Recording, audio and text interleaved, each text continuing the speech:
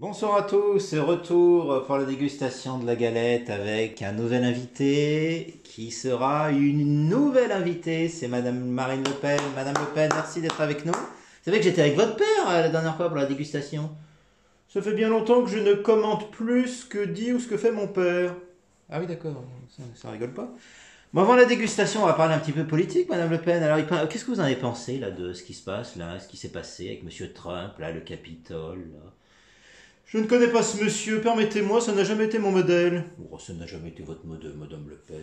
Mais vous aviez envoyé une délégation de votre parti, là, pour le soutenir, pour sa campagne. Je ne connais pas ces, ces- ces personnes, euh, permettez-moi.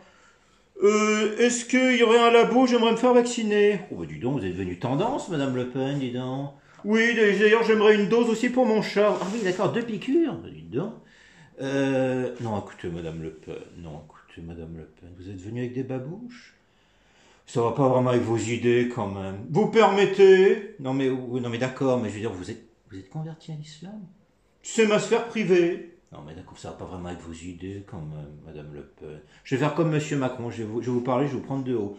Madame Le Pen, enfin.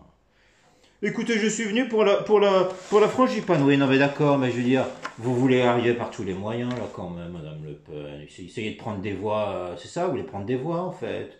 Écoutez, je suis à l'aise avec des babouches, vous permettez, hein, permettez-moi. Ouais, mais ça va. Allez, tenez, prends ça dans la gueule. Mouah.